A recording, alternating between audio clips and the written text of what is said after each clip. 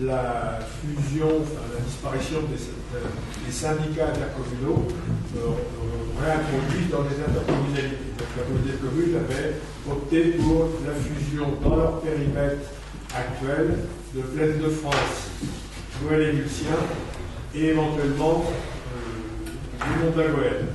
Avait aussi précisé qu'on n'excluait pas une extension du périmètre euh, sous certaines conditions. Donc, il y a eu, euh, au mois de décembre, il y a eu la commission intercommunale, la départementale de l'intercommunalité. Le schéma départemental a été adopté. Ça ne posait aucun problème puisque un certain nombre de collectivités avaient déjà euh, pris les décisions et qu'il y avait en gros 70% des intercommunalités qui étaient déjà euh, établies et acceptées. Il restait un certain nombre d'intercommunalités à, examiner.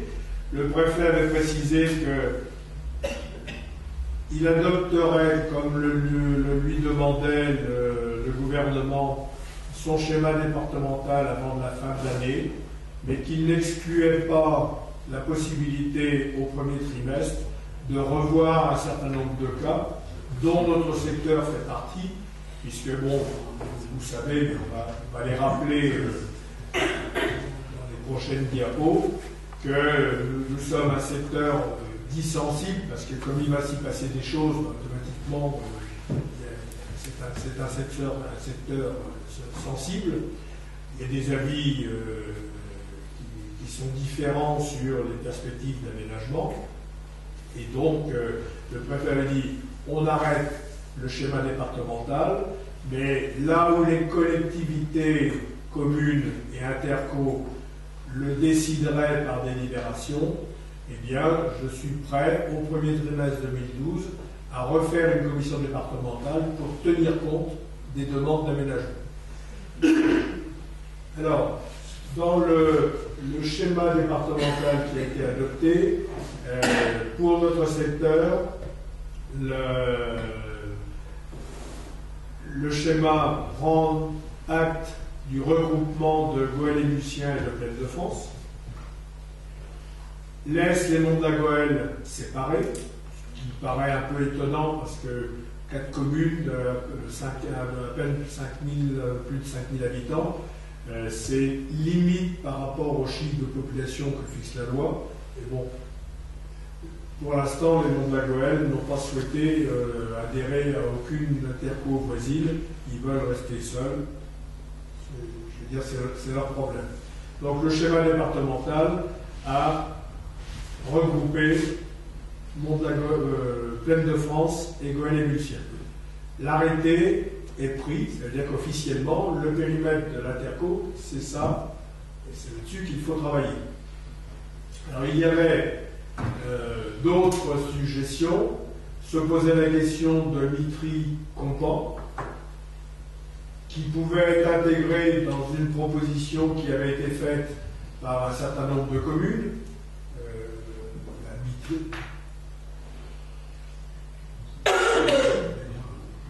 Donc, euh, Mitri, Compan, Compan, Villeparisis, Le Pin,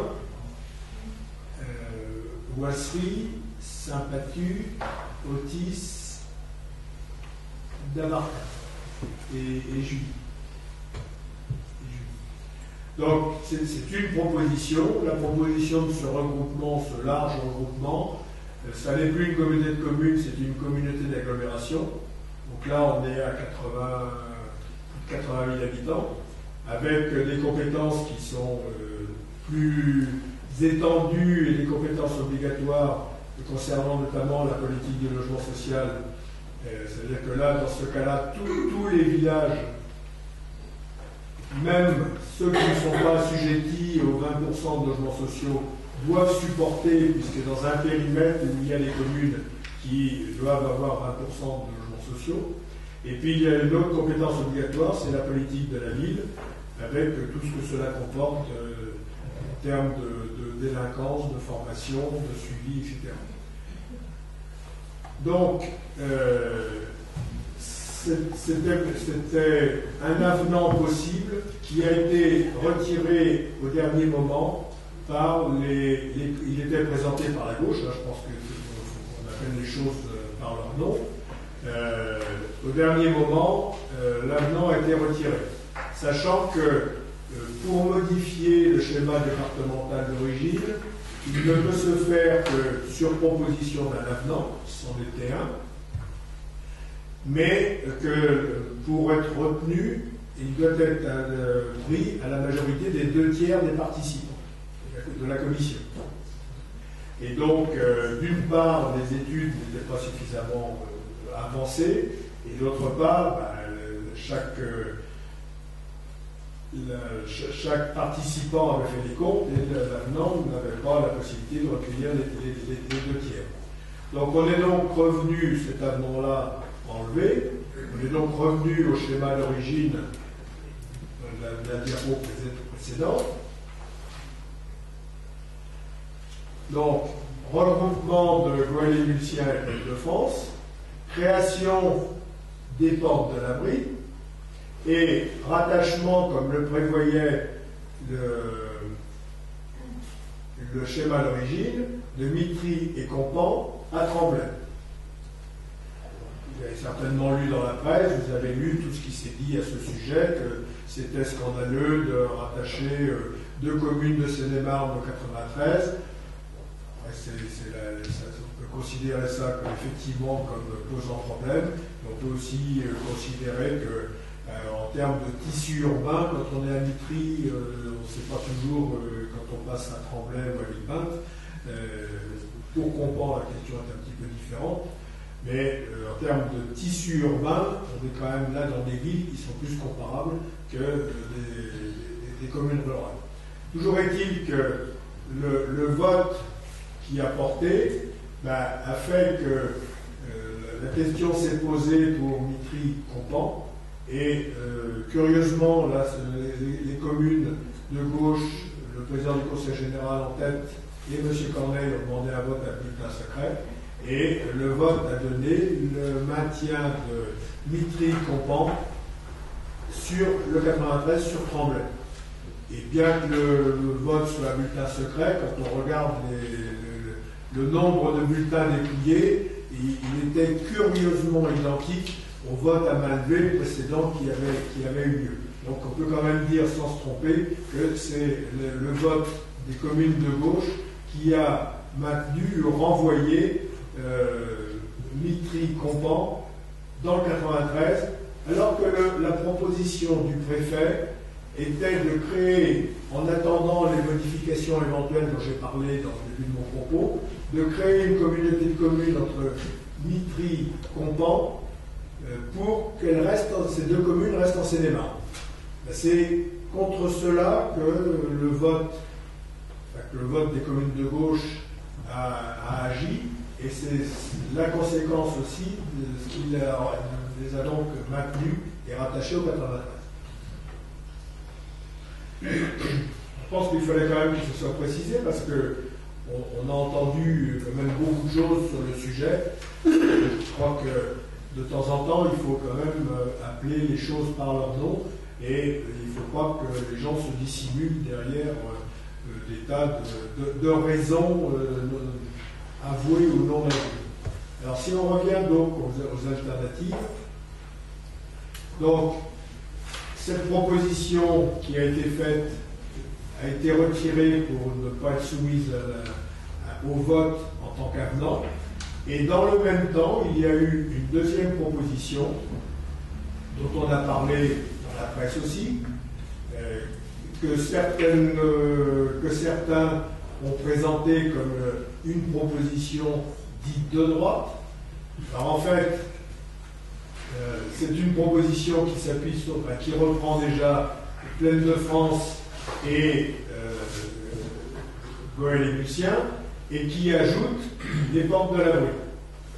Donc cette proposition s'appuie surtout sur le fait qu'une intercommunalité, ça ne se décide pas sur une carte, et ça se décide avec des collectivités qui sont d'accord pour construire et réaliser ensemble un projet. c'est ça le but d'une intercommunalité, c'est de réaliser un projet que pris individuellement aucune commune ne peut mener seule et qui, une fois regroupées, les communes peuvent mener à bien dans l'intérêt de leur population. Et donc on s'est appuyé pour cette proposition sur les réponses au, contrat de développement territorial. Voilà. Donc, suite euh, euh, à toute la, démarche qui a été faite au niveau de la Société du Grand Paris à propos du, métro euh, automatique du Grand Paris, vous vous souvenez qu'il y a eu un certain nombre d'actions, il y a eu des, cahiers d'acteurs, il y a eu des séances publiques, pendant plusieurs mois, les, populations, les collectivités ont eu l'occasion de, s'exprimer. Donc, cette, cette, proposition de gare euh, terminale au Mini-Lamblot qui avait été faite par Yves Alvarello, député maire de Clessouilly, qui était, qui est toujours d'ailleurs rapporteur de la loi sur le Grand Paris, et qui, à ce titre, étant concerné par le secteur, avait fait cette proposition. Elle a été ensuite reprise et suivie par une, très grande majorité d'élus, toutes tendances confondues, à part quelques-uns qui ont maintenu une position, on peut l'expliquer, d'avis contraire à, cette euh, gare au ménil Donc, le fait d'avoir une gare au ménil la loi sur Grand Paris dit on l'accompagnera d'un contrat de développement territorial, ce qui peut être une base forte déjà d'un contrat de territoire. Et donc on s'est appuyé là-dessus pour euh, dire, bah, par rapport aux communes concernées par le contrat de développement territorial, qui sont toutes ici, il y avait eu une réunion euh, invitant les trois communes, enfin les, trois, les communes des trois cantons, Damartin, Clay, Tri, pour dire, pour expliquer ce qu'était le contrat de développement territorial, et pour dire, ben, on crée une association pour, montrer, pour monter le, et, réaliser un contrat de développement territorial, et donc chaque commune doit se positionner.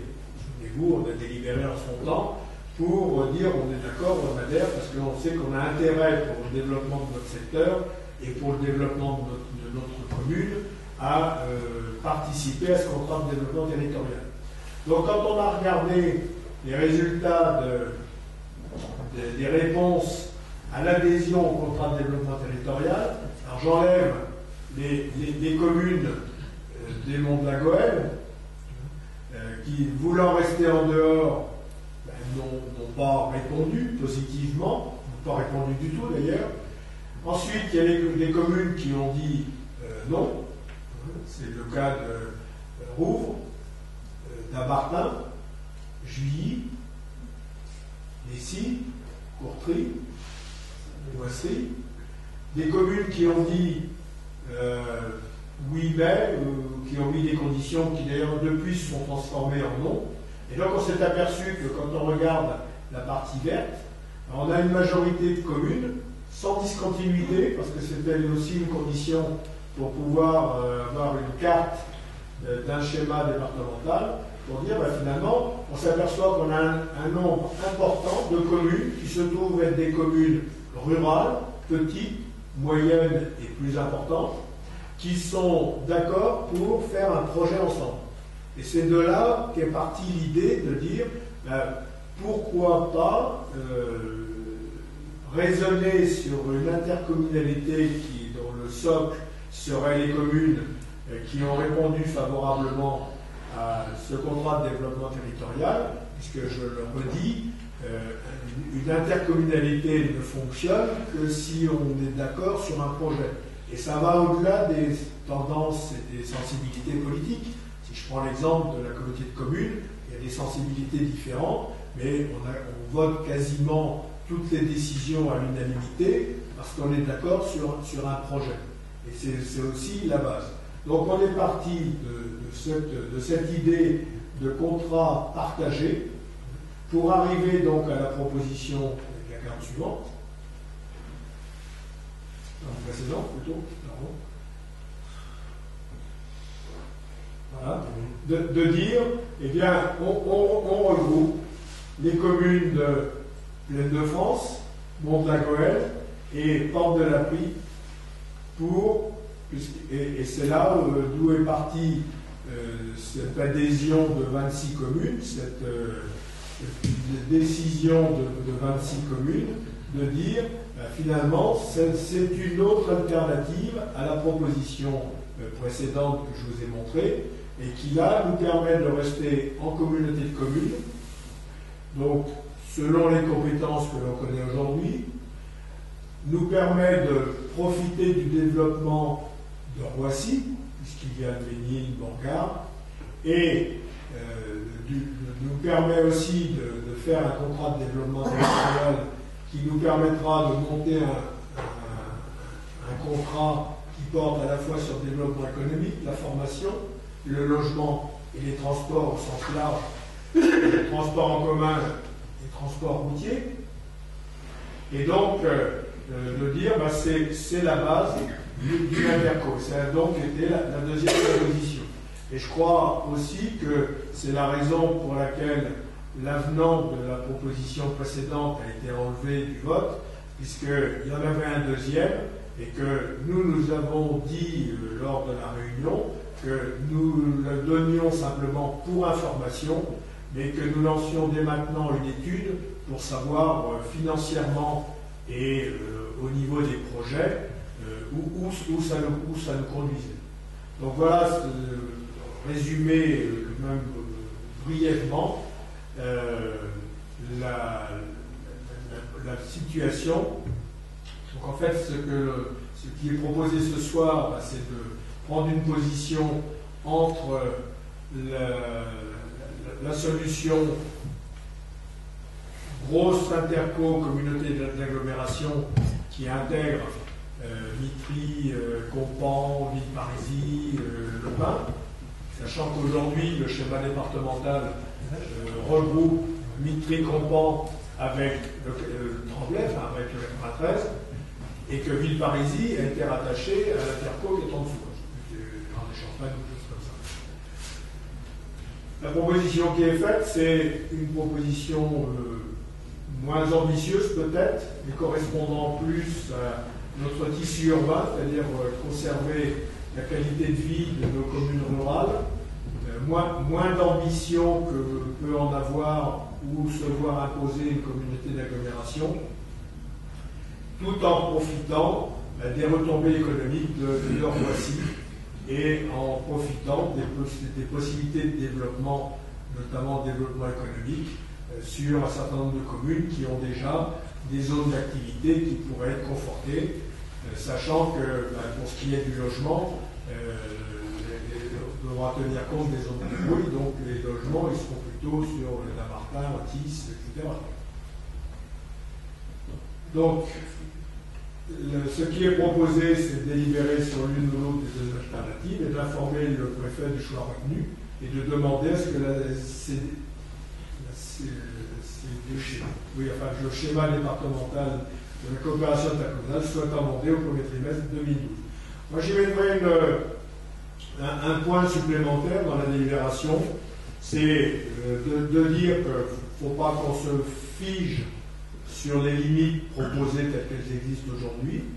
Il faut dire qu'on peut, on se réserve la possibilité d'élargir le périmètre si une ou d'autres communes partagent le projet et décident de, le, mener l'ensemble de l'interco, et bien évidemment s'ils partagent aussi les, moyens, donc la courbe de la gouvernance, à euh, mettre en place pour mener à bien le projet.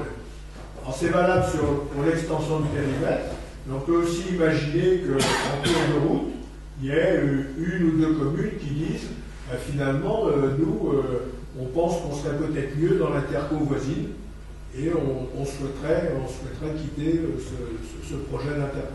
c'est pour ça que je vous propose dans cette délibération, un, de retenir cette solution d'interco, mais en y ajoutant les possibilités d'extension ou de retrait aux conditions indiquées. Oui, mais il y en a qui sont à l'interco qui pourraient dire nous on s'en va, mais il y a aussi euh, Mitri qui peut dire ben nous on va rentrer.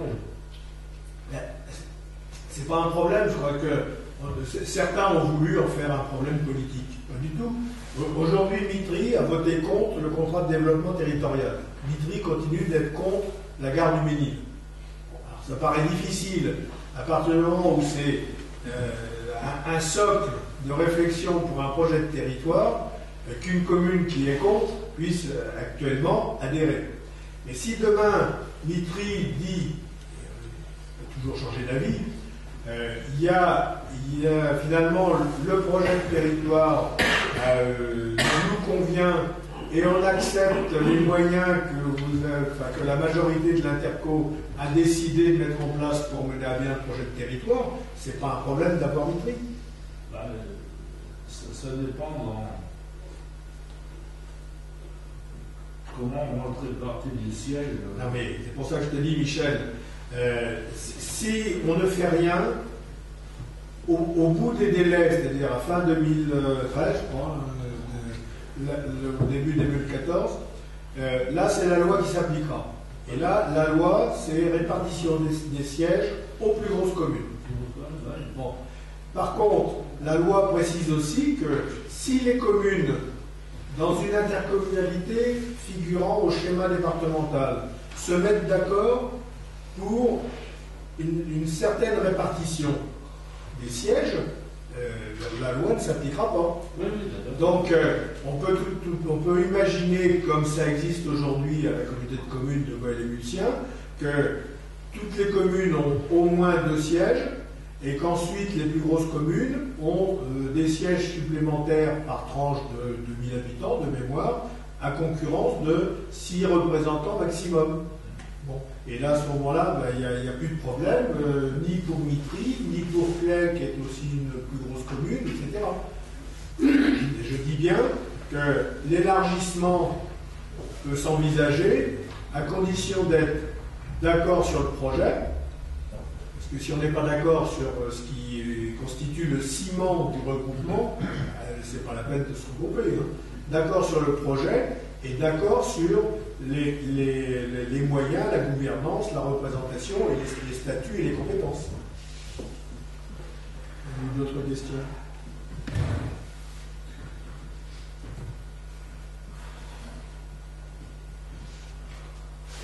ah, C'est déjà des choses dont on a parlé euh, au moment du, débat qu'on a eu euh, suite aux, travaux que la communauté de communes avait, avait menés. Hein.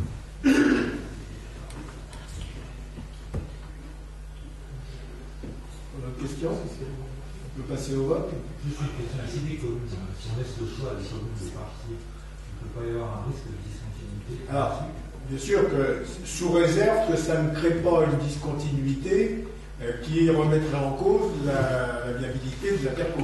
Oui, vous avez raison. Parce que de toute façon, là, c'est le préfet qui, refuserait. Mais c'est mieux en disant.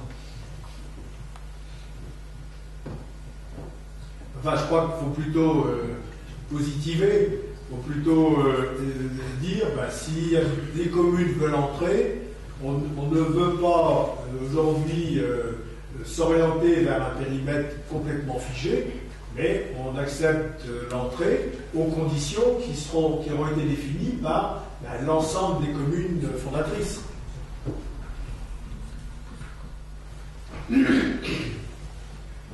qui, je pense, serait une solution sage pour le secteur. Et aujourd'hui, ça ne prend pas le chemin. D'autres questions ou remarques? On passe au vote. Est-ce des votes défavorables? Des abstentions? Adopté. Merci. Donc le deuxième point, ça concerne le, le livre, le projet de livre de Boussy. Donc c'est à la fois pour demander une subvention, la fixation du prix et la création d'une régie de recettes. Donc, comme je l'ai dit en introduction, c'est un livre sur l'histoire de Moussy, qui est en cours d'élaboration. Il est composé de, deux parties. Euh, une partie euh, valeur historique, temps ancien jusqu'au 19e, surtout qui est le fruit du travail de M. Golinelli, qui a fait beaucoup de recherches complémentaires sur, sur le sujet. Il s'est même pris au jeu à aller fouiller dans les, dans les vieux registres pour euh, redécouvrir des choses euh, qu'il ne connaissait pas jusqu'à maintenant. Il y a une deuxième partie qui parle un peu de la vie au XXe siècle et qui a fait l'objet notamment d'interviews d'un certain nombre de, personnes euh, ou de, de, gens qui ont habité la, commune ou des gens qui ont vécu sur la commune, dont les parents habitaient sur la commune et qui ont rappelé un peu comment ça, se passait. Donc l'ensemble représente environ 300 pages et 200 illustrations. Le coût de l'édition pour 700 exemplaires coûte 24 000 euros hors taxe. Le financement du département au taux de 20 à 25% donc une subvention de 3 000 et 5 000 euros. Donc, euh, bien évidemment qu'on n'est pas dans un, projet d'édition pour euh, faire un, bénéfice commercial. Donc c'est simplement de définir un prix de souscription euh, pour participer euh, à l'investissement pour ceux qui. Donc ce qui est proposé, c'est pour, la souscription, c'est-à-dire avant mars 2012, 22 euros, et après publication, 25 euros bien évidemment, il faut créer une régie de recettes, parce que ça, ça peut pas être euh, noyé avec d'autres régies existantes, euh, la cantine ou la photocopie. Avez-vous des questions Quand vous mettez mars 2012, quand vous mettez mars 2012, la souscription commence en mars Non, elle, elle va commencer maintenant. D'accord. Elle s'arrête en mars. Non, elle commence maintenant, mais elle s'arrête en mars. Oui, puisqu'après, avril, dès que le. Oui, enfin, dès, qu'on reçoit l'édition et qu'on paye la facture, euh, c'est plus la souscription, on est dans la commercialisation.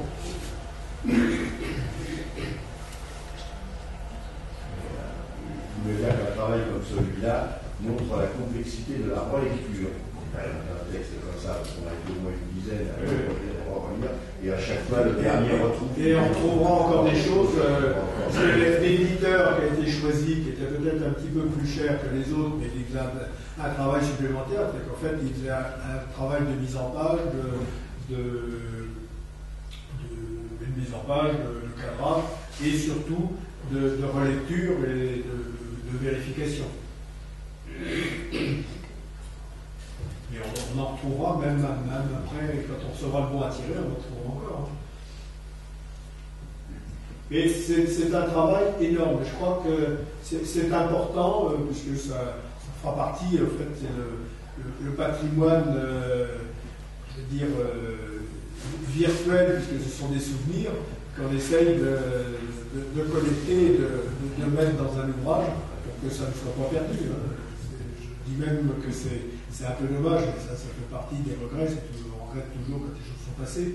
Mais euh, si on avait pu le faire dix ans plus tôt, on aurait pu euh, interroger des, gens qui avaient euh, une source de, renseignements encore plus large.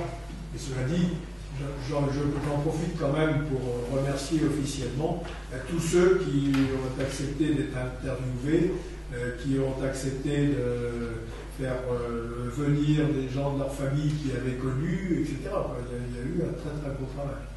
Un travail réalisé à la fois par M. Golinelli et par Mme Tronchet, qui consacre ces derniers mois parmi nous à, mener à bien ce projet. Vous des questions particulières?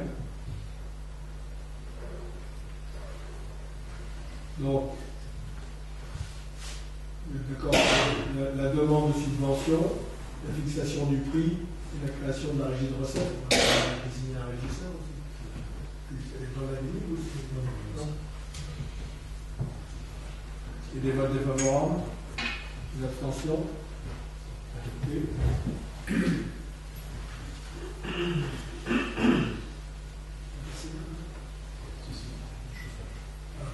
Bon, on a, on a, sous-préfecture sur le marché de chauffage.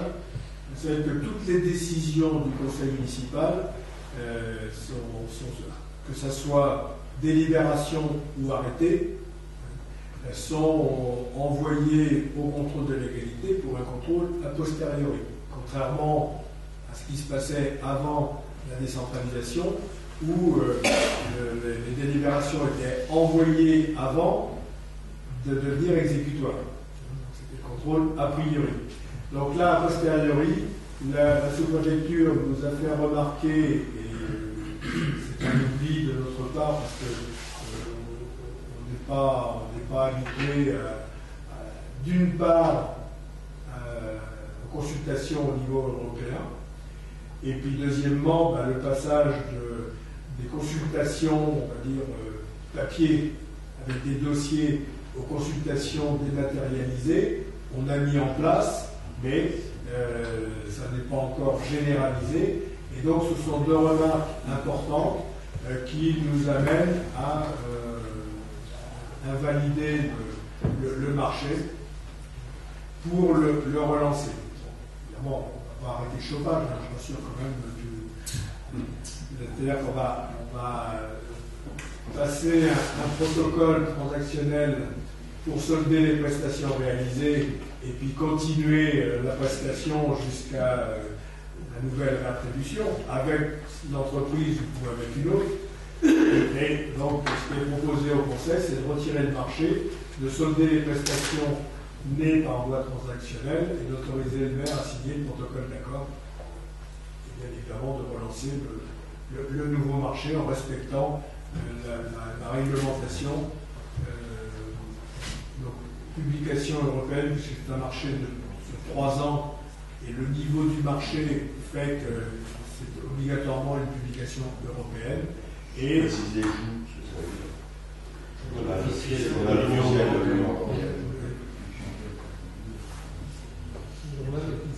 journal officiel de l'Union européenne. Alors que les, publi- les publications, ben, on les fait dans les journaux, on va dire nationaux. Euh, bon, La société ne dépose pas un recours dans le tribunal administratif. bah, non, a priori, ils préfèrent. euh, là, là, pour eux, pour eux ce sont des arguments suffisamment forts pour qu'il va mieux transiger. C'est le protocole transactionnel qu'ils ont accepté. Sur cette base, et ils ont accepté. On en était au été au milieu du marché. euh, Donc, donc finalement, il y a quand même un risque que ce soit euh, pour cette société, mais Ah, euh, Complètement. je vois pas en quoi euh, ça simplifie les choses pour la commune. hein. C'est la loi. C'est la loi qui dit ça simplifie. Jamais dit T'as jamais il faut l'exprimer là, moi je suis tout le temps. S'il vous plaît.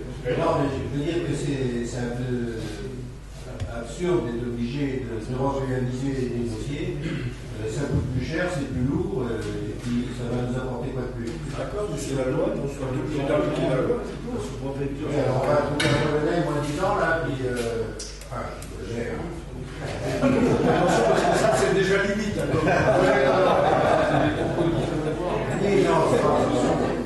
Non, moi, je veux dire, un- une société très éloignée qui n'a pas de structure, qui sera peut-être à moins de 10 ans. Mais après, c'est à nous d'apprécier,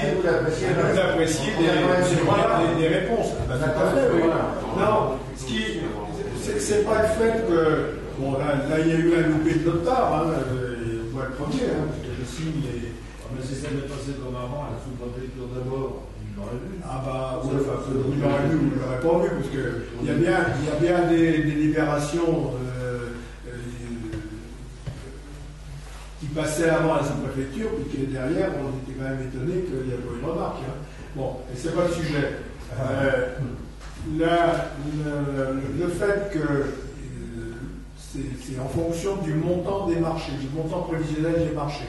Donc la loi précise que au-dessus d'une certaine somme, c'est une publication au journal euh, officiel de l'Union européenne.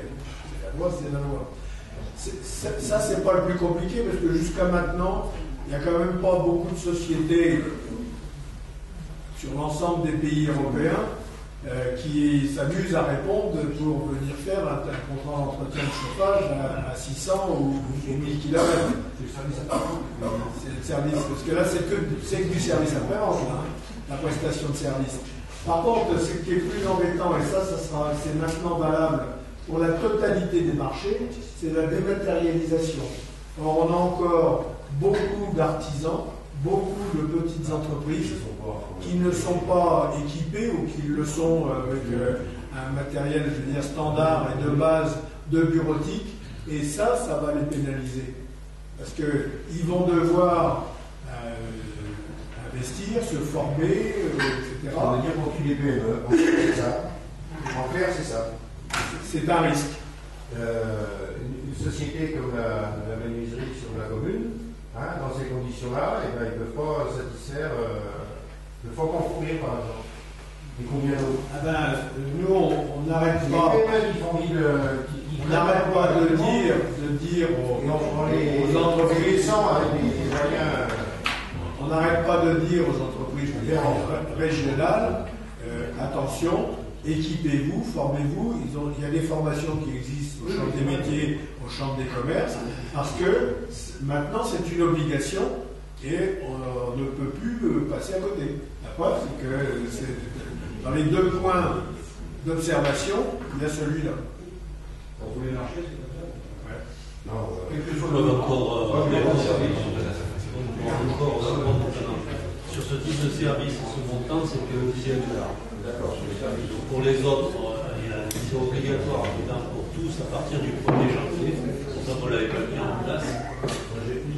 En revanche, Écoutez, la question c'était est-ce que c'est pour tous les marchés? Voilà.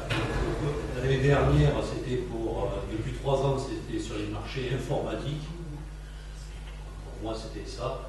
Et euh, pour ce type de marché, du fait qu'il soit au journal européen, on devait offrir cette offre.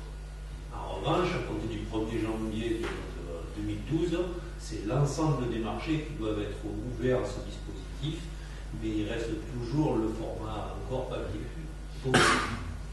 Mais on doit avoir tout mis en place. Derrière, ce sera euh, plus Ah. que la réponse informatique. Voilà. Avec euh, un profil acheteur qui est déclaré sur notre base et ainsi de suite. En revanche, il faut qu'on ait tout le dispositif et que toutes les communes aient le dispositif, y compris les plus petites. Donc ça veut dire que tous les marchés vont pouvoir être attaqués euh, 90% des. Bien sûr.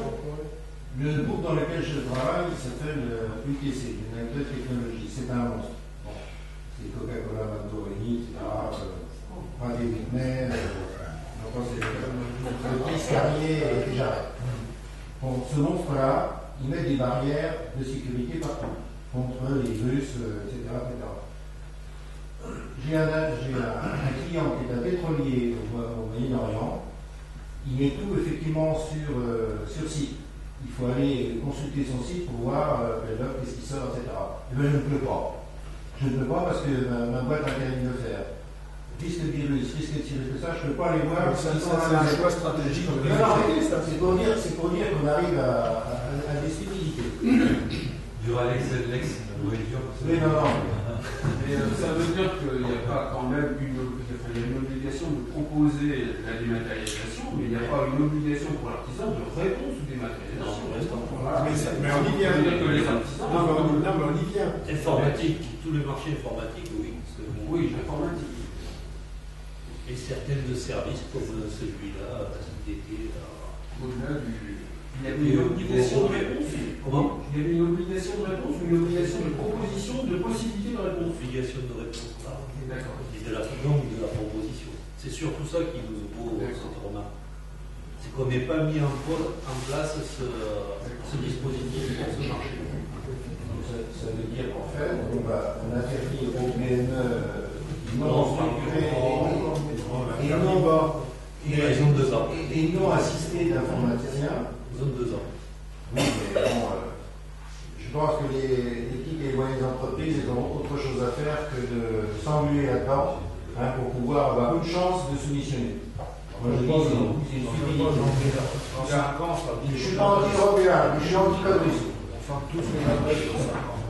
Bien. Allez, il y a une question. Quel est le, monsieur Barnier, quel est le délai maximal du retour Parce que là, le contrôle de On était dans le. C'est prononcé trois C'est mois. c'est deux C'est mois, deux mois. on était dans le. Non, mais juste là, ça fait trois mois et sept jours. Non, délibération Bah. 9. Ça fait trois mois et sept jours, donc ils sont en retard.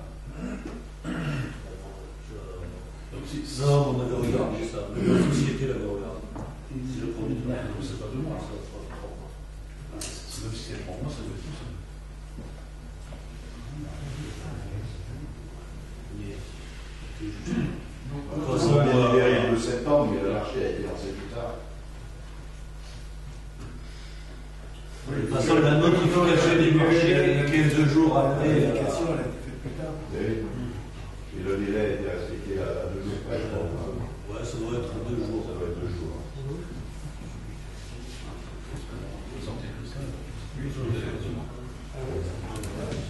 Mais sachant que l'entreprise qui a le marché, elle a un avantage sur ses concurrents puisqu'elle a le marché. Elle connaît, elle connaît l'installation, euh, bien sûr. Donc c'est c'est donc c'est la non, c'est un des avantages parce que maintenant, les autres, s'ils ont regardé nos délibérations, euh, ils ont le prix. Non, mais il y a un avantage de prix, enfin, il y a, le prix est connu, mais il y a aussi un avantage technique. Donc ça veut dire que ça cause la concurrence, a priori. L'avantage Donc ça veut technique. dire qu'elle ne peut pas répondre. Comment si, si, qu'elle ne pourrait pas répondre Enfin, après, on parce pourrait- qu'elle. euh, Ça veut dire qu'on qu'elle- peut-être qu'elle ne pourrait pas répondre, et peut-être qu'on ne devrait pas la choisir. Ah ouais. Tant qu'on n'a pas eu une, c'est sûr. On est, en, en fait, compte, le- la concurrence élargie à l'Union européenne, 27 pays, il y en a qui vont voir euh, la personne dématérialisée. Qu'est-ce qui, qu'est-ce qui va se produire vont voir qu'il y a déjà une entreprise. Si c'est dans ce cas-là. Aujourd'hui, euh, le nombre d'entreprises qui viennent consulter euh, nos, euh, nos délibérations sur le panneau et sur notre site, il ne peut pas y en avoir beaucoup, hein, parce que vous dites justement que les PME ne vont pas sur les sites, donc à ce Non, mais même, même les groupes, voyons déjà que ça. Vous savez, quand vous passez, C'est un appel d'offres important, mais pour les, les boîtes. Quand vous passez vos études avec euh, l'ouverture d'un marché, vous donnez le prix euh, c'est à l'estimation, euh, ils avaient déjà une tendance. On voit très bien que les entreprises ne se référaient jamais à ces tendances-là. Pour l'instant, pas on est pas rentré dans le- Il y a d'autres questions ou remarques Vous êtes d'accord sur la proposition de retirer le marché, soulever les prestations et d'autoriser le maire à se livrer et à relancer la consultation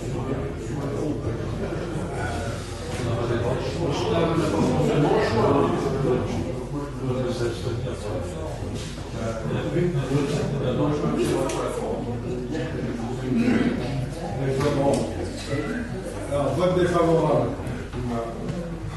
Un. Abstention. Une.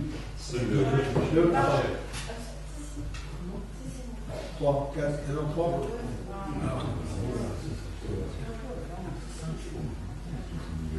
Cinq.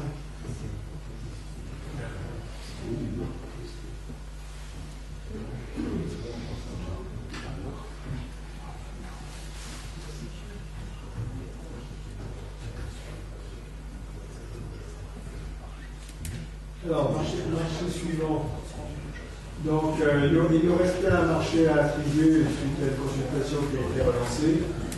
Donc, euh, souvenez-vous, lors de la dernière séance du 3 décembre, le lot numéro 3 n'avait pas été attribué. Le conseil municipal avait décidé de relancer une consultation pour ce lot, intégrant une nouvelle solution technique, puisque je rappelle que l'architecte avait lancé une solution bois et qu'on n'a pas eu de réponse pour solution bois. Oui, oui. Euh, un prix. euh, voilà. Donc, on, on a, on a relancé une consultation dans une solution maçonnerie euh, classique, mais quand même avec euh, l'isolation respectant les normes 2012, hein, bien évidemment.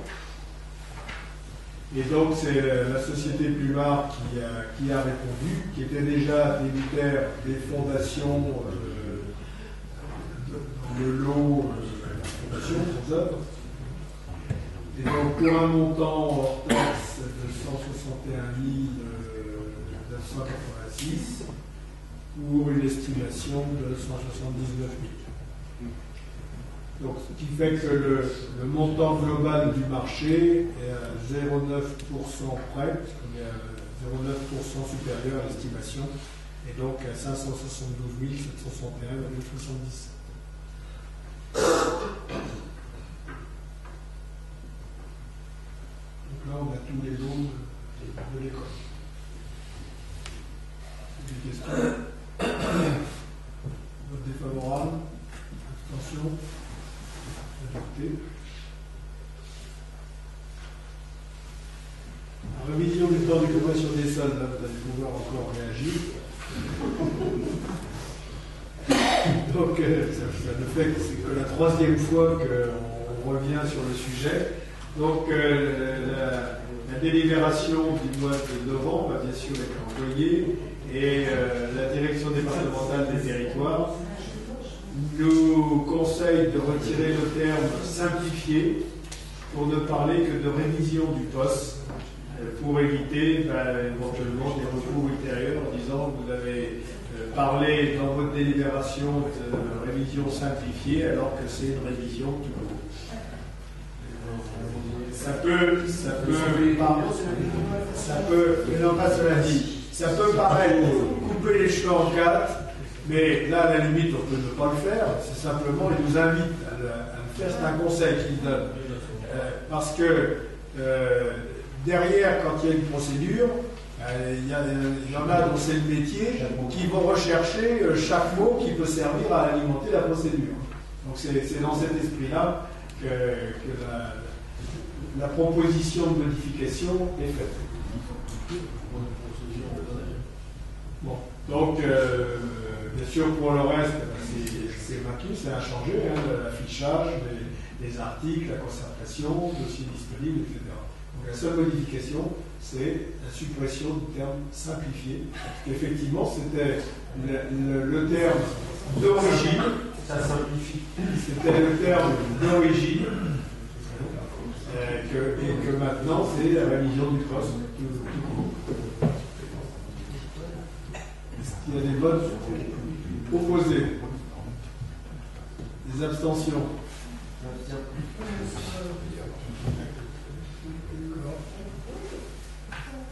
Deux abstentions. Et Si c'est bien de sortir, c'est nouveau, ça, la DDT. Euh, c'est depuis le regroupement de la DDE et de la DDA. Il y a, eu, ça s'est appelé, c'est passé par différents cycles, ça a été le, le, D, la, DEA, Direction Équipement et Agriculture, euh, DEAF, je crois, à un moment il y a eu aussi Agriculture et Forêt, et maintenant c'est la Direction des territoires et des terri- des- Direction des départementales des territoires. Ah bah si, là, là, il y a un moment là. Toi qui lis quand même la presse et, les- et qui écoute euh, les journaux européens. Oui, oui, attends, non, attends, mais on va, on va aller jusqu'au bout de l'ordre du jour. Ça sera dans les questions diverses. Bon, bilan des acquisitions, euh, puisque chaque année, là aussi, vous le savez, on doit présenter au conseil municipal un bilan des acquisitions et des ventes foncières 2011. Donc, euh, bah, pour la plupart, euh, ce sont soit des bornages de, parcelles, soit des frais de rétrocession au domaine public, soit des, frais d'acquisition de, de- de- ou des frais d'hypothèque. Vous voyez, ce sont des, pet- des petites sommes, sauf une, celle de, de- de la dernière ligne, qui est la vente des terrains pour le centre-bourg, de 785 565 C'est une acquisition. Oui, la, la, euh, c'est cette correction.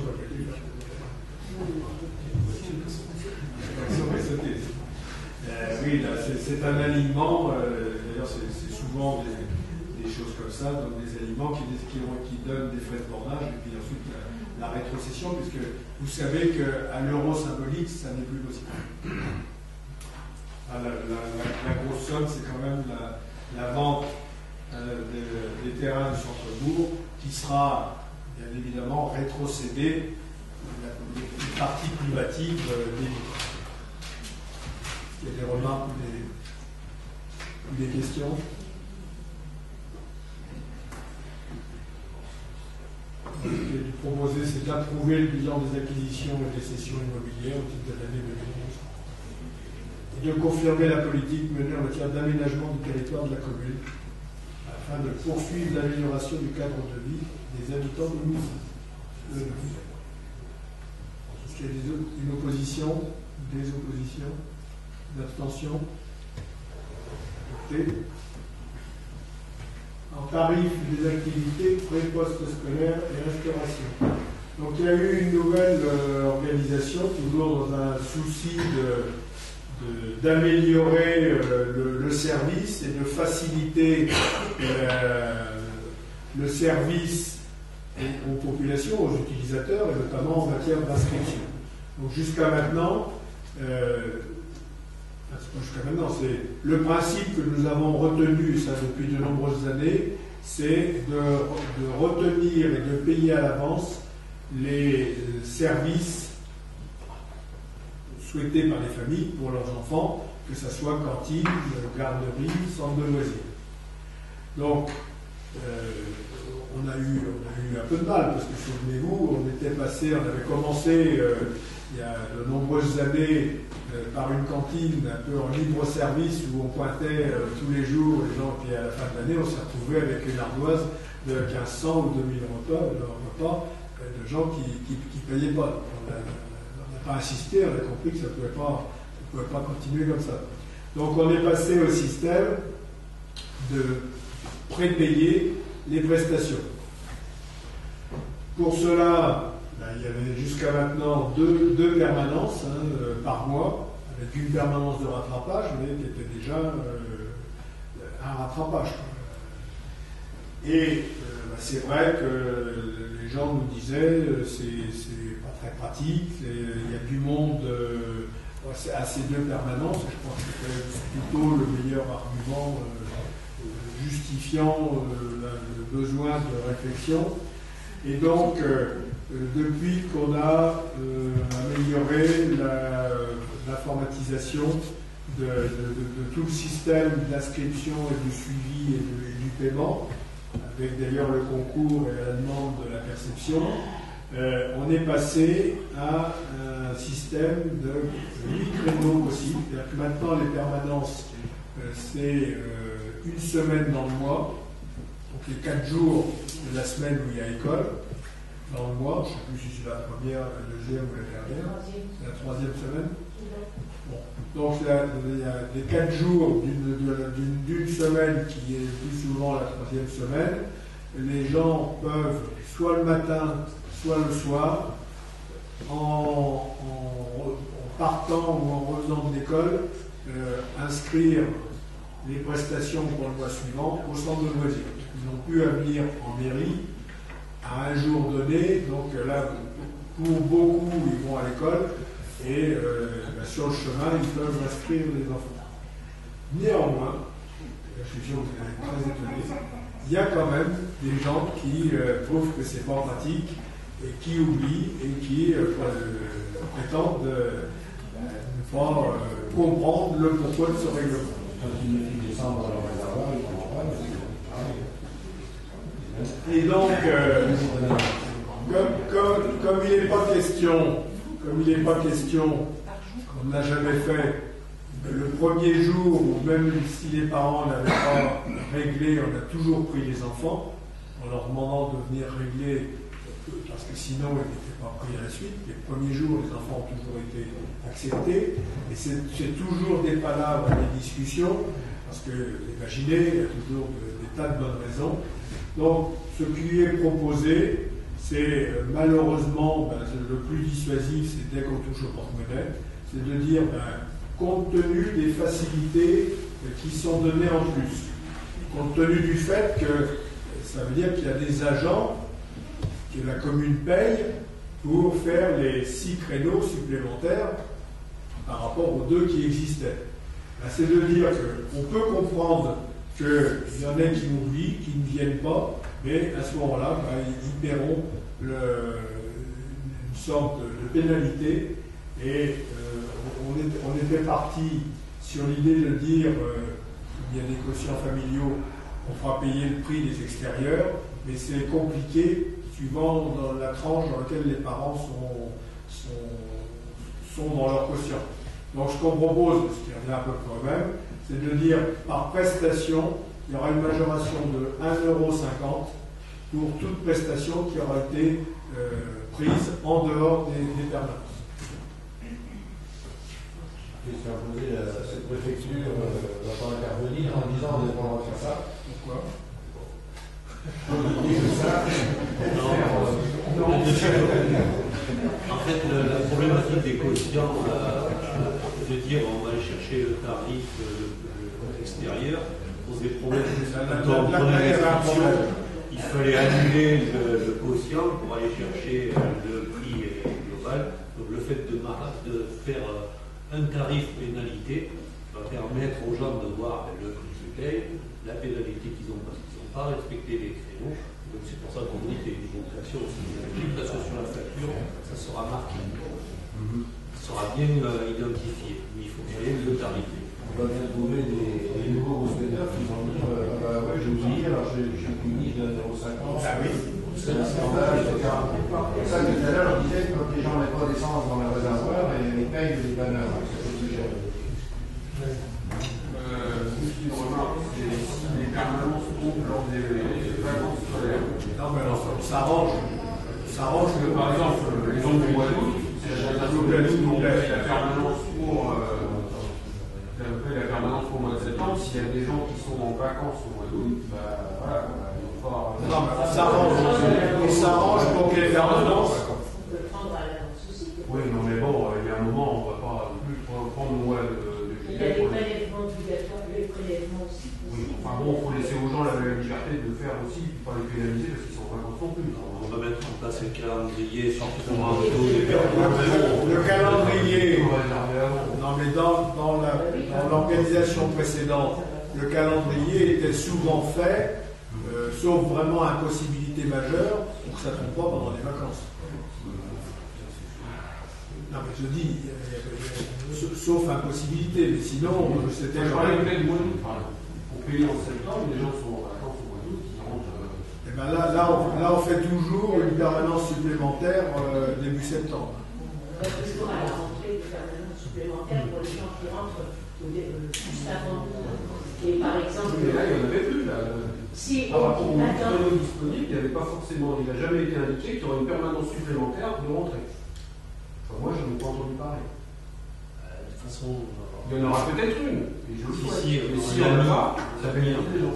Et en aux vacances de février, par exemple, ça n'a pas été la troisième semaine, parce que ça tombait pendant ça a été la deuxième semaine. Pour que les gens puissent venir. Moi. D'accord. Peut-être, mais c'est quand même là une période de vacances aussi. On a adapté aux vacances. Au mois d'août, il y aura Ah, Pour, pour répondre à votre remarque justifiée, on s'arrange et on tient compte des congés, sauf vraiment impossibilité. Mais euh, ce qu'on ce qu'on précise aussi, c'est que là, en cours d'année, pour ceux qui nous invoquent euh, de dire je n'ai vraiment pas pu cette semaine-là, etc., on peut toujours faire prendre des, des- des prestations par un voisin, un parent, etc. hein. Et donc là, cette pénalité, c'est applicable dès partir de l'enfant. Parce que moi, je. Pardon sous pédagogique de dire attention, là vous êtes en dérogatoire, donc cette fois-ci, c'est la. Là, on a déjà écrit ça. Là, on a déjà écrit à ceux, à ceux qui,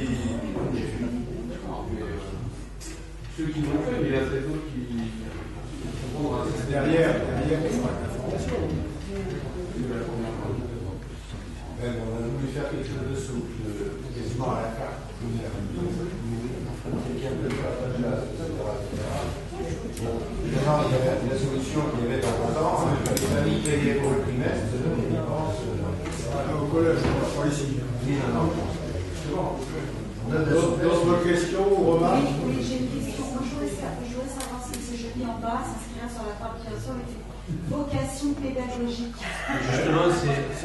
Apparaîtra sur la facture. ça sera sur y a la une pénalité. D'accord. Et c'est-à-dire que cet argent-là va être reversé Non, non, non. euh, Non, les gens sauront qu'ils ont payé plus cher avec une ligne marquée pénalité pour retard ou un truc comme ça. Il va pas quelque chose Vocation pédagogique pour les retardataires. Voilà, d'accord. Sur l'ensemble des, des locaux, des parents qui sollicitent les locaux, il y a combien de retardataires Le- le- à la dernière permanence, j'ai signé quoi, une douzaine de, de courriers sur les 150 familles qui. Donc, c'est pas beaucoup. C'est pas beaucoup. C'est.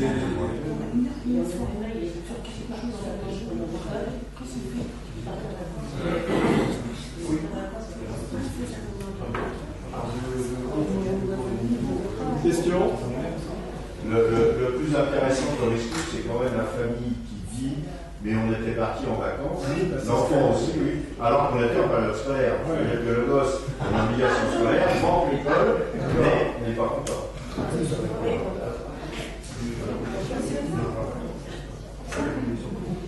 Bien. Qu'est-ce Le que- cas que j'évoquais, c'était le mois d'août. Oui, oui, non, non, mais euh, la raison, c'est- c'est- mais ça- la question se posait déjà dans l'ancien système. Donc effectivement, il faut, faut en tenir compte. Et...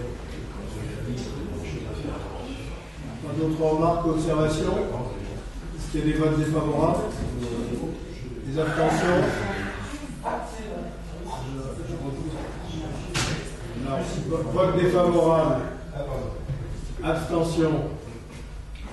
Hein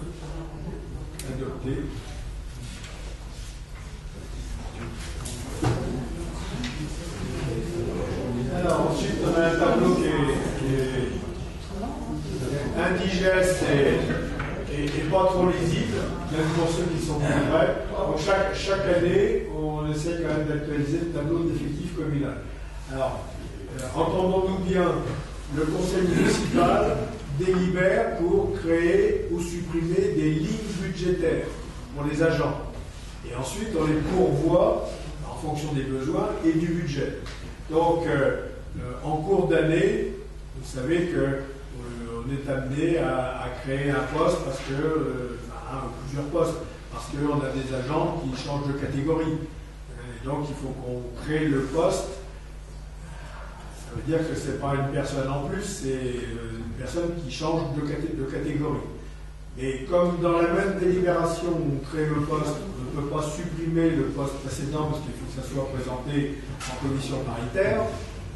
Aussi, c'est les simplifications administratives. Et là, cette fois-ci, qui sont le fruit du résultat des syndicats, notamment l'éducation nationale, euh, enfin, pas le- des fonds, des fonds de la fonction publique, dont l'éducation nationale fait partie. Euh, on, vous, propose une actualisation donc, du tableau des postes budgétaires communaux. hein. et on, avait donc, euh, au, total, on a créé 59 postes. Euh, on a 48 postes pourvus.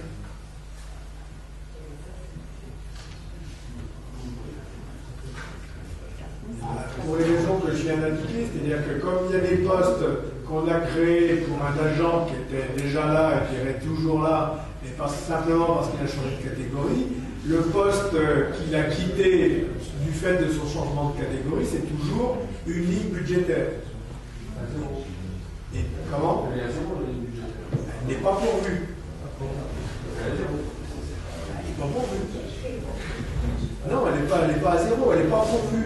C'est-à-dire qu'on peut, à tout moment, on peut mettre un agent dessus.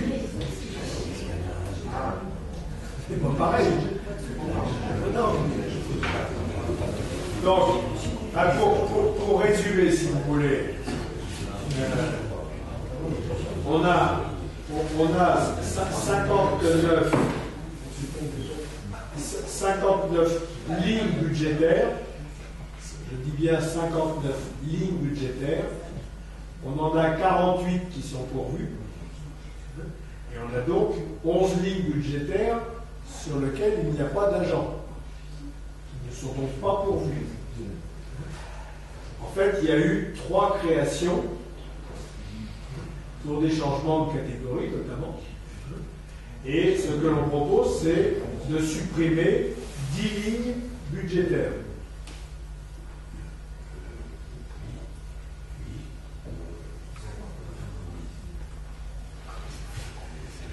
Ne faites pas les, ne trouverez pas les chiffres. En fait, il nous reste, il nous reste quatre Donc il nous reste quatre postes non pour Voilà, donc en fait, on, a, on garde 52 lignes budgétaires avec 48 qui sont pourvues et 4 qui sont non pourvues. Donc c'est pour ça qu'on est à 52. De telle sorte que si on a soit un changement, soit besoin d'un remplacement, soit besoin d'une emploi- d'une embauche ponctuelle, on ait une, une marge de manœuvre sans être obligé d'attendre le conseil suivant pour créer la ligne budgétaire. Mais on a, on a 48 agents, donc à l'effectif, ce qui. Elle ne l'a pas dit, dans le chiffre de- 45. attends, C'est- que je donne la réponse avant qu'il y en ait un qui pose la question.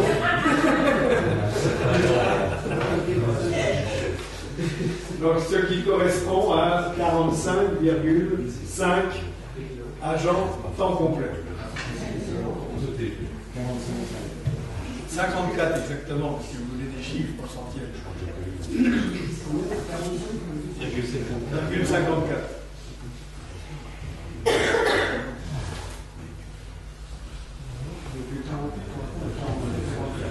Non, au fond pas. On est à, on est à 40. Donc, on a, physiquement, on a 48 personnes.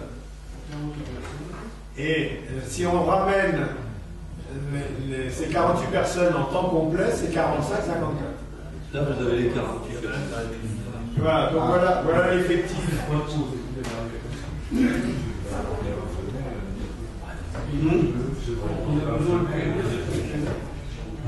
On est, on est à l'équilibre des équipes. quoi.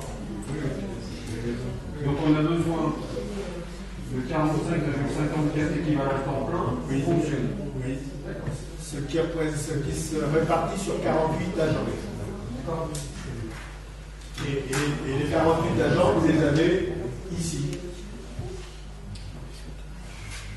Et, et ici, vous avez la, dernière recrue qui va donc prendre la, la direction du, du centre de, du centre de loisirs, la, la LSH, pour euh, apporter les améliorations qu'on a déjà évoquées dans, différentes réunions et, redonner euh, du, du dynamisme à la structure.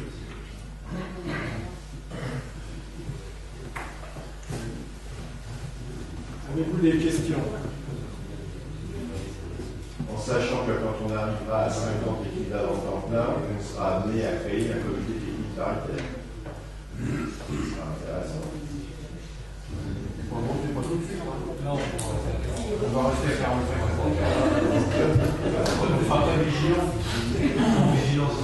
Le, dernier, il va, il va se discuter. hein. Déjà, vous vous notez. Bon, des questions, des remarques Qu'est-ce que le Conseil aura adopté donc, euh, la, la mise à jour du tableau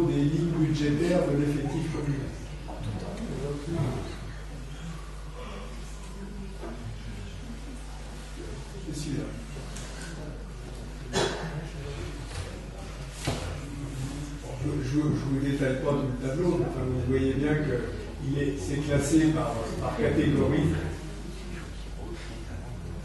avec le nombre de lignes budgétaires que l'on a dans chaque catégorie. Avec des explications par rapport au enfin, vous avez dit, on a recouper la transmission de la Si vous prenez le cadre d'emploi des réacteurs en catégorie B, vous voyez pour rédacteur principal, on a deux postes créés et on en a quatre qui est pourvu. On a quand même intérêt qui n'est pas pourvu, tout simplement parce que celui qui est en dessous est rédacteur, un jour ou l'autre, il remplira les conditions pour devenir principal. Donc on aura intérêt à ce moment-là à avoir le poste sous la main pour avoir besoin de le recréer.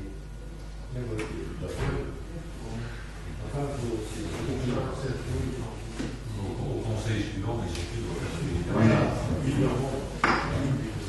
Il y a pour les modifications des trésoriers, de la trésorerie. Ah, là où c'est embêtant, On peut faire pareil, hein, j'ai de l'opportunité. Bon.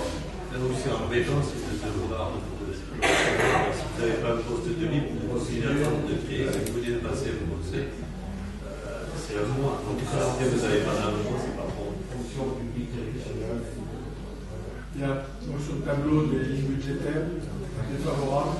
Est-ce qu'on pourrait avoir l'organigramme un jour euh, Je vous souhaite. Donc, vote défavorable. Abstention?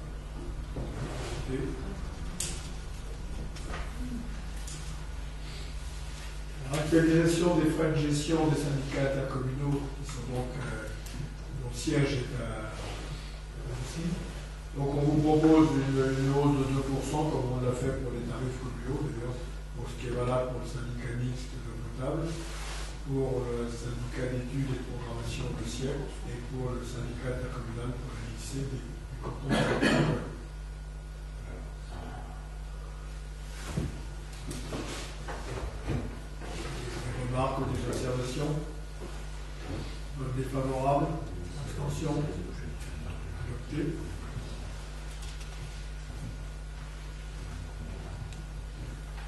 Alors, le- comme on l'a fait pour les acquisitions ou les ventes euh, de fonciers pour la commune, on doit aussi présenter le bilan des marchés publics 2011 pour l'ensemble des fournitures.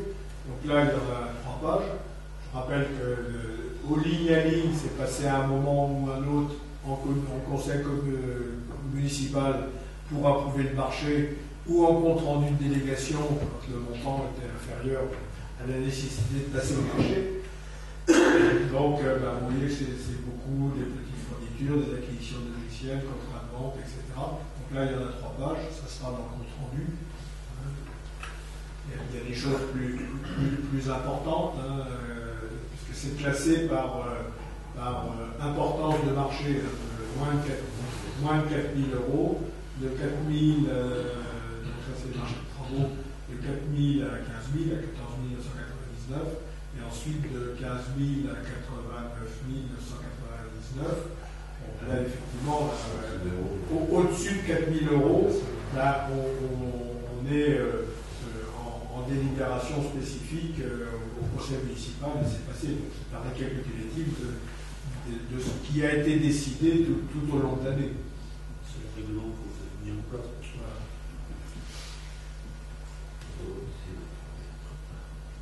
Je ne sais pas si vous avez des questions particulières. C'est le bilan des, des- des marchés classés par importance. L'intérêt que ça présente, c'est que bah, c'est un récapitulatif global, il n'y a pas besoin d'aller rechercher euh, tout- toutes les délibérations. Il sera sur notre site et affiché. Donc euh, tout le monde peut. Mais faut- faut- une délibération du conseil municipal qui dit oui, le bilan a été présenté, on approuve le bilan. Est-ce qu'il y a des votes défavorables Des abstentions Donc adopté.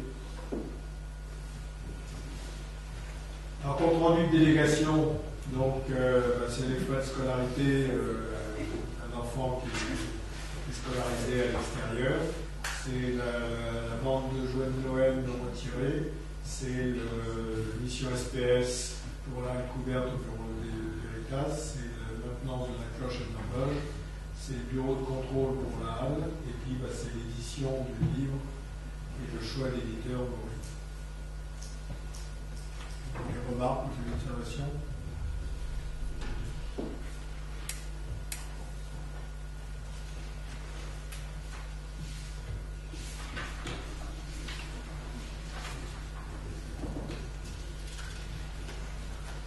Déclaration d'intention d'annuler.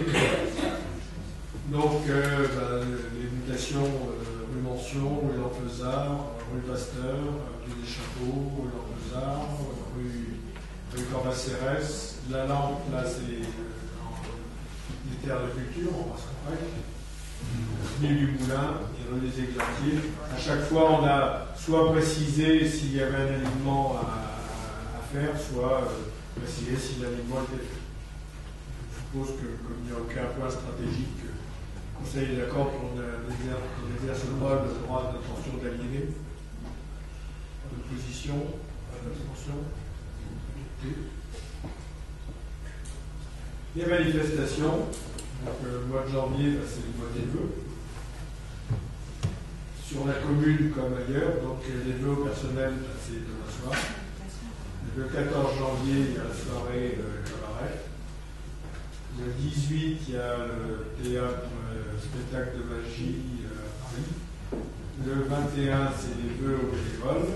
Le 22, c'est la messe euh, de la Saint-Sébastien, c'est une première, c'est cette compagnie-là. Le 26, c'est les vœux aux entreprises. Et puis le 28, il y a un autre.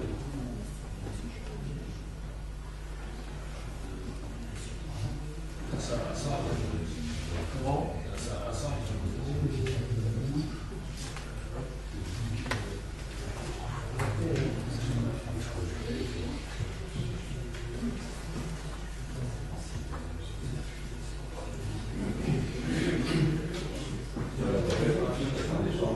Comment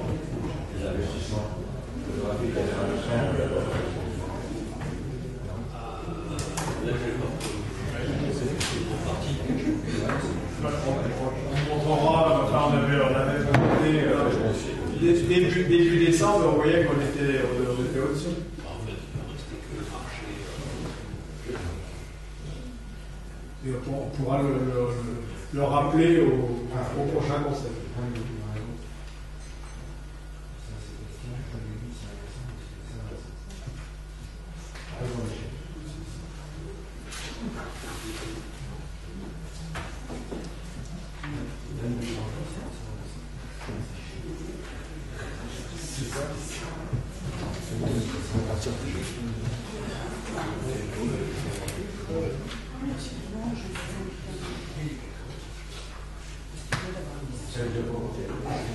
Bon, je voudrais faire une, une- une information, faire une information par rapport à. Je vais demander encore quelques, quelques minutes d'attention. Euh, par rapport à un tract qui a été distribué dans le canton, il n'a pas encore été distribué à ma connaissance sur, euh, sur Moussy, mais ça, ça ne saurait tarder certainement. Et c'est une lettre ouverte, un tract qui se présente comme ça. hein. Lettre ouverte à M. Rigaud, président de la communauté de communes du Pays de la Gueule et du Mulcien. Donc en fait, euh, le, le- le- le- le problème qui est relaté dans ce tract-là, c'est euh, euh, j'aurais limité la production d'eau euh, venant de la communauté de communes euh, à destination de la commune d'Otis, ce qui aurait euh, fait courir des risques à la population risques s'il y avait eu euh, besoin de défense incendie. Et ensuite, il y a toute une litanie sur euh, bah, le fait que c'est sûrement pas un bon exemple d'intercommunalité euh, avec une vision étroite, revancharde, etc. Enfin, un bon, un bon tract électoral, c'est pas mal. Mais sur lequel je préfère quand même apporter quelques précisions parce que il y a loin de la coupe aux lèvres entre la réalité de ce qui s'est passé, de ce que vous serez peut-être amené à lire, ou de ce que l'on vous rapportera dans, dans certaines communes euh, qui, l'ont- reçu, euh, par rapport à la, réalité. Donc ma, première remarque, c'est que ce tract, dont la violence euh, qui semble être employée euh, que uniquement pour masquer soit la mauvaise foi, soit l'ignorance, soit la désinvolture, euh, soit les trois à la fois, sur un, problème crucial qui, est l'alimentation au total de nos concitoyens. Quand dis violence, la violence verbale. Donc je rappelle, je rappelle que lors de la création du syndicat d'alimentation en eau de la Gueule, 76, il y a quelques-uns qui étaient là, Michel était là. La commune qui n'était pas la seule dans le secteur à avoir des problèmes d'alimentation en eau potable, qui avait essayé notre souci d'intercommunalité, contrairement à ce que certains affirment, il n'est ni étroit ni récent, puisque déjà à l'époque, on avait essayé de créer un syndicat pour dire ben, on est un certain nombre à avoir des problèmes d'alimentation en eau potable, euh, créons un syndicat pour la recherche. Ça n'a intéressé personne, on l'a souvent raconté. hein. Euh, D'un seul coup, ceux qui disaient avoir des difficultés n'en avaient plus. Donc la commune a euh, pris le risque de lancer son puits seul. Il se trouve qu'on a eu la chance de trouver de l'eau et en quantité et en qualité. Comme par hasard, comme sur un pot de confiture, d'un seul coup, toutes les mouches, sont arrivées. Et donc le, syndicat de la, Goëlle s'est créé à cette occasion. Je rappelle que 76, c'était l'année de la sécheresse célèbre. Et que ceux qui n'avaient soi-disant aucun problème, d'un seul coup se sont retrouvés sans eau. Et on est quelques-uns à avoir connu à l'époque les pompiers sur arrêté préfectoral dérouler des tuyaux de pompiers depuis le puits de Moussy, qui n'était officiellement pas réceptionné, pour alimenter Damartin et. Il faut quand même s'en s'en souvenir de cela. hein.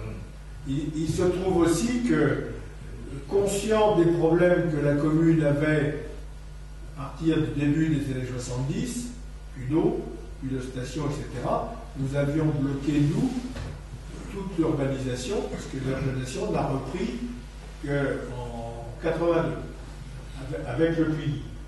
Je rappelle ça quand même parce que euh, c'est important. Et qu'à l'époque, euh, quand on a créé le syndicat, on avait exigé que euh, le puits de Moussy ne soit pas la seule source d'approvisionnement, qu'il y ait également une jonction avec l'usine d'Annette, donc l'usine de traitement de l'eau de la Marne, de, telle sorte qu'on ait un dépannage si un jour, pour une raison ou pour une autre, les pompes tombent en panne, euh, on n'a plus d'eau, donc on ait le secours d'assurer. Tout au long de ces années, depuis 76 hein, et à une période euh, beaucoup plus récente, on a assuré des maillages entre le syndicat de la Goëlle et la communauté de communes. Entre la communauté de communes, partie ouest, donc Saint-Patu, Ouessy, Mongé, et la partie est, la Martin, Saint-Marc.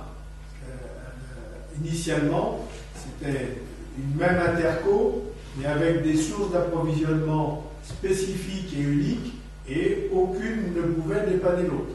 On a, on a fait quand même une canalisation qui allait de Saint-Patu jusqu'à Damartin, pour assurer en passant par un château d'eau qu'on a fait à. C'était en fait la réserve, la réserve.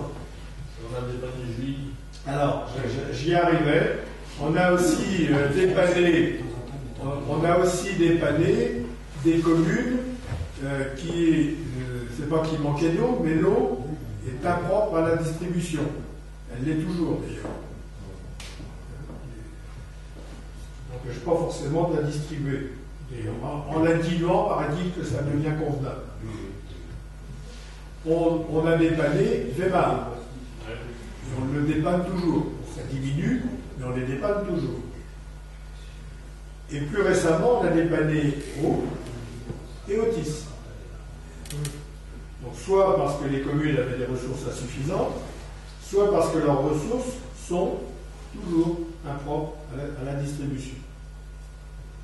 Alors, comment ça se passe des, des- des dépannages ce sont, des fournitures en gros d'eau, potable bien sûr, qui se font sur la base d'une convention et qui précise notamment le volume par et qu'on doit consommer un minimum tous les jours parce que sinon on peut risquer des pollutions dans l'eau qui ne circulerait pas dans les canalisations et avoir des problèmes de salubrité.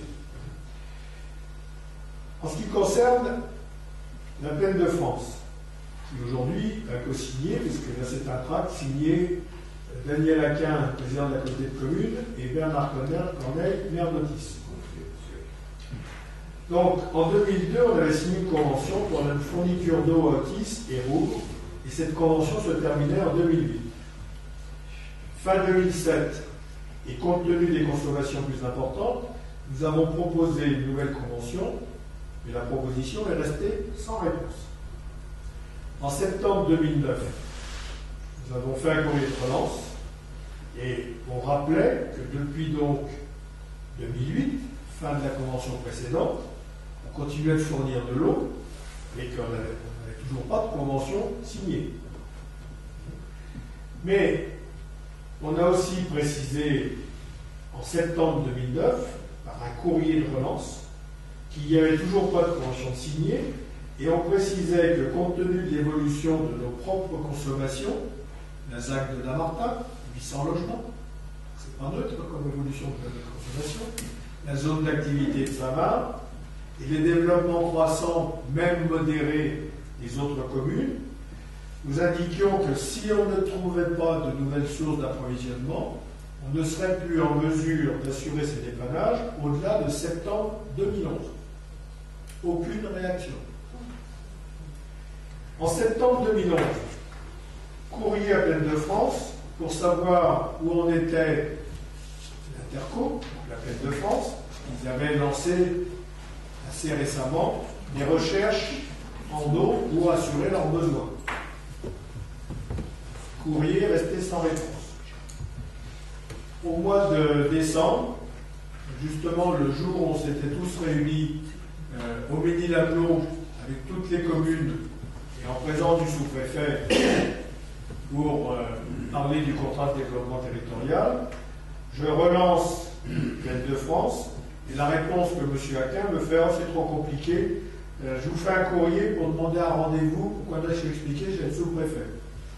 Vous ne comprenez pas très bien, parce que c'est pas compliqué de dire ben, on a trouvé de l'eau, ou on n'en a pas trouvé, ou on en a trouvé, mais ça sera opérationnel que dans 30 ans.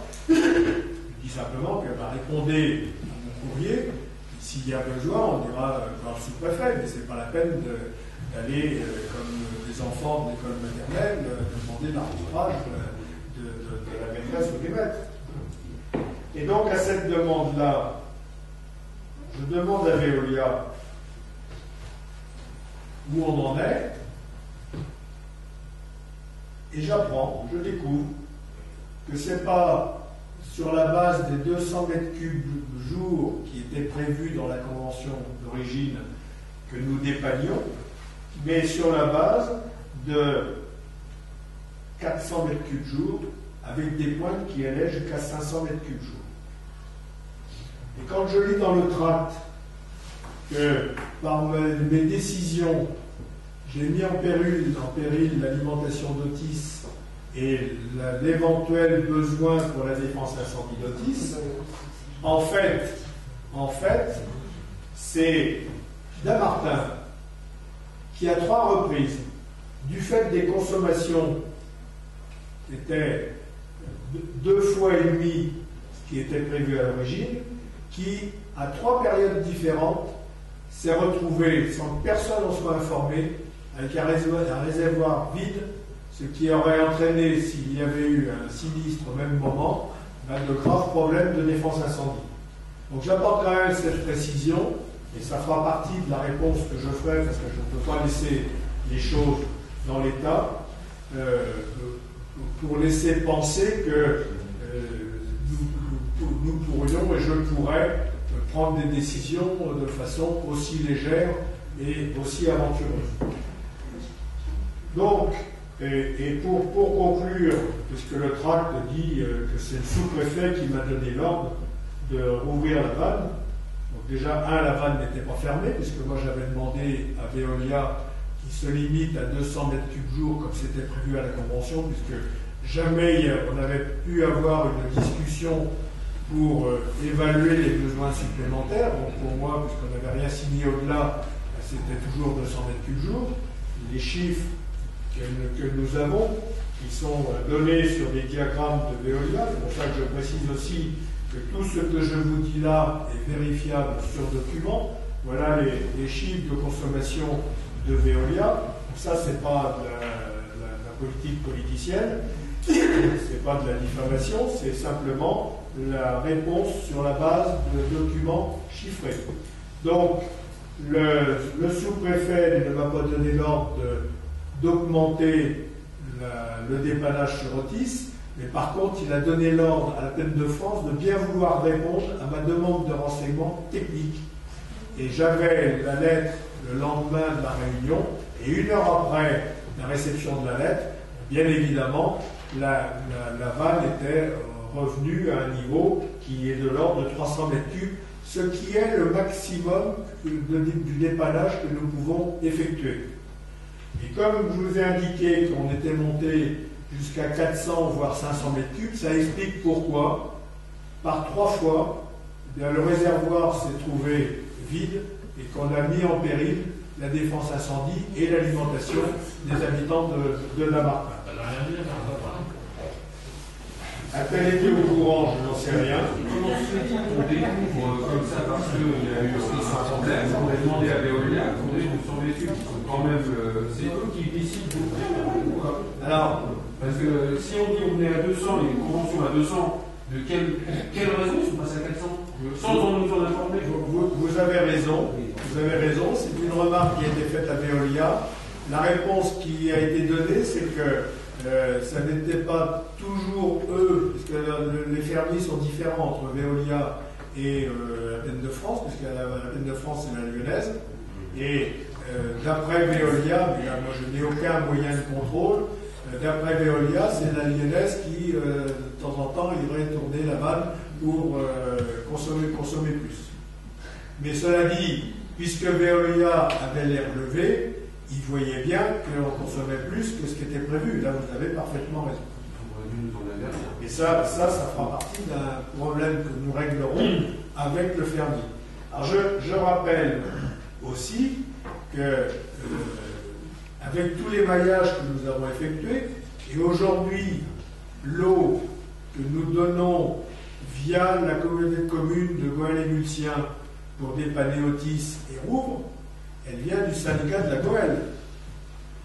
Et grâce à son dépannage qu'il a sur l'usine d'Annette. C'est-à-dire qu'actuellement,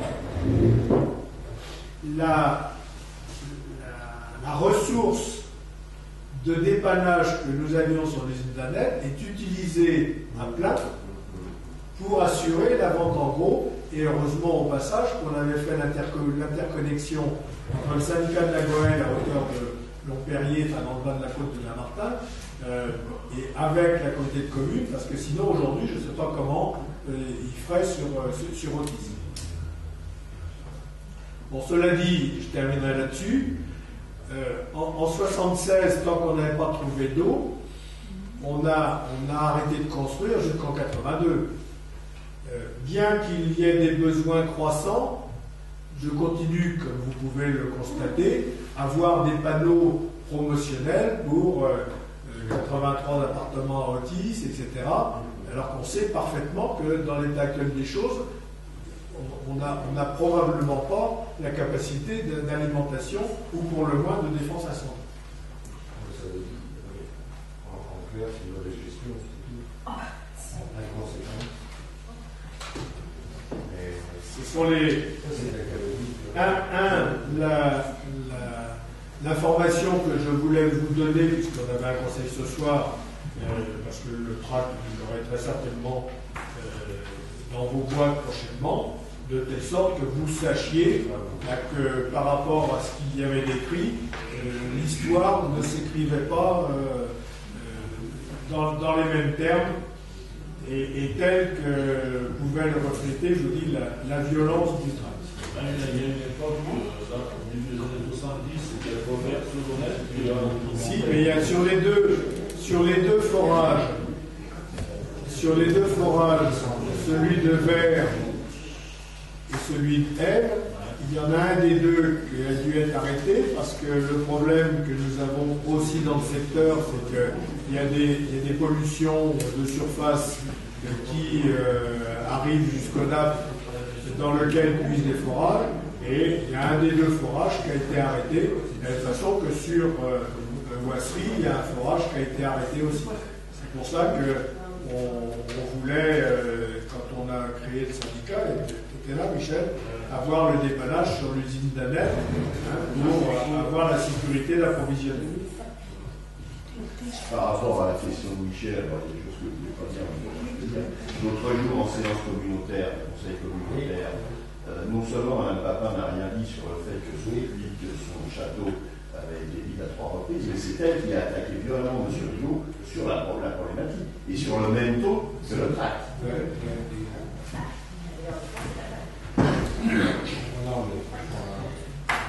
Voilà, euh, des précisions que je voulais vous, apporter de façon à ce que vous ne soyez pas surpris. Et cela dit, je reste à votre disposition pour euh, répondre à d'autres questions que vous pourriez vous poser ou euh, vous montrer les documents qui me permettent euh, d'affirmer ce que je viens de, vous dire. Et on va se regrouper avec ces gens-là. Ah, ça. Bah, C'est peut-être pour ça qu'on on a décidé un mode de regroupement plutôt qu'un autre. Il ne pas plus loin que vous dormez avec euh, le quota, euh, etc. Ouais, mais ça, c'est point électoral. Les tuyaux, ils, ils sont, Ça mal. ils, ils sont, ils, ils sont sous terre. Bien, est-ce qu'il y a des questions au niveau du conseil? Pas de questions Euh, Si, j'aurais- j'aurais une information. Enfin, Vas-y, J'ai une question. Euh, la semaine dernière, je suis allé euh, au syndicat de l'Europe. Et tout le temps, quand on va au syndicat avec euh, Brigitte, on est toujours côté de la Valère et de Bressot. Et Bressot me disait euh, l'heure étant, il n'y a plus une goutte d'eau dedans. Bizarre, ça. Le temps de, de, de casser. Là, non, vous êtes bien là. Ah, les temps de. qui est dans la, dans la, de la membrane qui dans le Il n'y a plus une goutte d'eau. C'était pas la loi là. Nous, les systèmes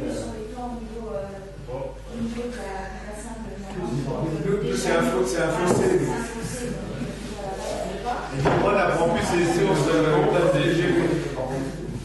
Donc on dit, on dit, il n'y a, il y a plus une goutte d'eau. euh, euh, dans- dans le monde, tout ça, bah, vous avez à faire quelque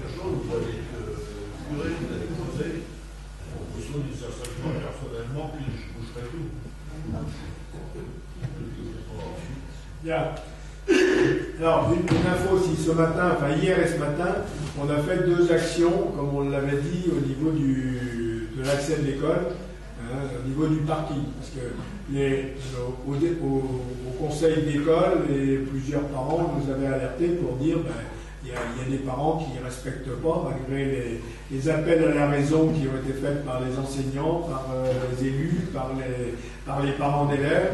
Il y en a qui ne veulent rien entendre. Donc, euh, hier matin et ce matin, on a fait une action pour euh, remettre les gens dans les. Bon, c'est comme pour les inscriptions à la cantine. hein.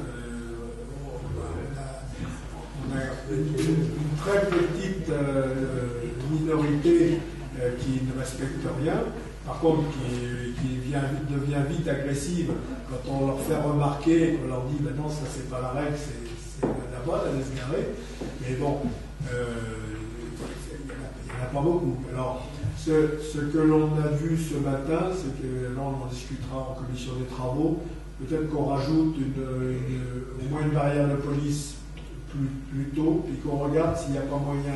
En fait, euh, l'entrée et la sortie du parking côté euh, rue des Clos, enfin oui, rue des Clos, rue Damas, euh, pour- pose problème parce que on, a un, un linéaire de stockage des voitures qui est court entre les voitures qui arrivent d'Otis, Le stop. le stop et la, et la sortie du parking. Donc, on- euh, et en plus, ça fait du monde, euh, puisque là, il y a entrée et sortie en même temps. Et donc, on se demandait ce matin si on n'aurait pas intérêt à ouvrir la- l'accès arrière. là, on est en plein sur la route. euh, Bah, euh, euh, comme, comme on l'air éclairé. Hein. oui, c'est. Bon, bah, c'est une réflexion qu'on avait ce matin, puisque j'étais avec euh, Gérard Roumont, euh, Madame Radin et Pascal Nicolas qui étaient de l'autre côté.